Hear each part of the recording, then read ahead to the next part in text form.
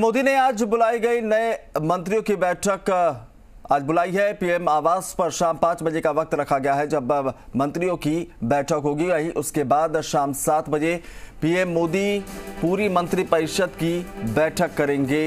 नए मंत्रियों को 15 अगस्त तक दिल्ली में रहने के निर्देश हैं। संसद में रोस्टर ड्यूटी के वक्त ज़रूर मौजूद रहने का निर्देश उन्हें दिया गया है। तो आज नई टीम के साथ बैठक और आगे की रणनीति बनेगी कि किस तरीके से अब कम वक्त में बेहतर कामकाज करके दिखाना है, जो जिम्मेदारियाँ दी गई हैं, उसका निर्वहन करना है।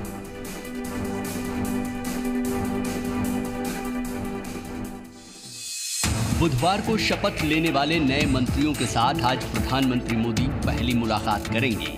आज शाम पाँच बजे कैबिनेट मंत्रियों की बैठक होगी, जबकि शाम करीब सात बजे पूरी मंत्रिपरिषद की बैठक होगी। सूत्रों के हवाले से खबर है कि सभी नए मंत्रियों को कुछ निर्देश भी जारी कर दिए गए।